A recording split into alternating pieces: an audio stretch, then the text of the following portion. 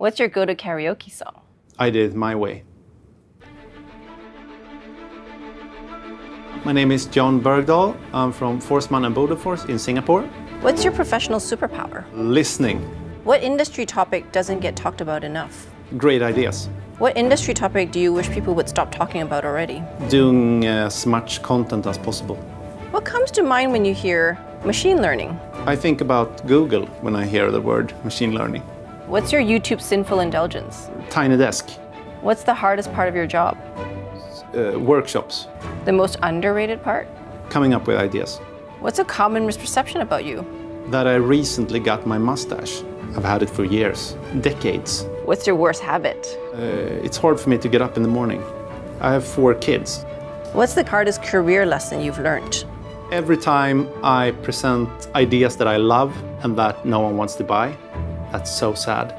What's the one human trait that machine learning just can't replicate? I think love and music and friendship